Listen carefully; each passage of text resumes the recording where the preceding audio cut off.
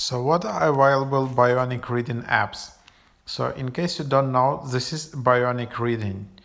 It's a new method facilitating the reading process by guiding the eyes through the text with artificial fixation points. As a result, the reader is only focusing on the highlighted initial letters and lets the brain center complete the word.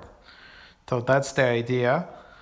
Uh, so try to read this text especially try to focus like you know if you're reading a book uh, a larger book. And if you try to skim this text you can find like it was the case for me that you can do it much faster than just like regular normal text.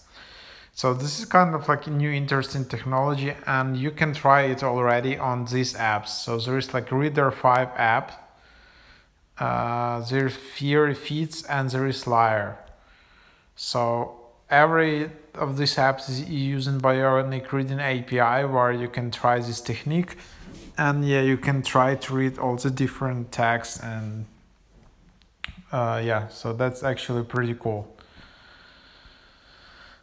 Um, so I'm just trying to open, I don't know why it's not opening, but like the trick is that Reeder 5 app is paid one.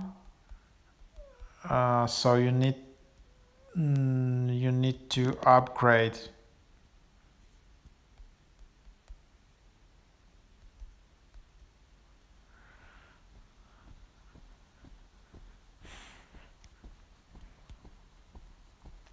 So here is that but it, it is paid.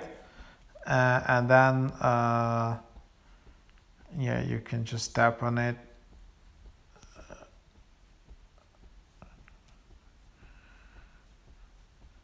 and then you can just open it in the app store and then you can see it's like 4.99 uh, but Fiery Feeds app is uh, is free so you can get it.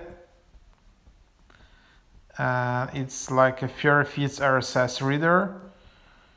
Uh, you can see it's uh, it's growing the charts so it's, it's an interesting app that you can use to read news articles blogs but you can try this bionic reading technique.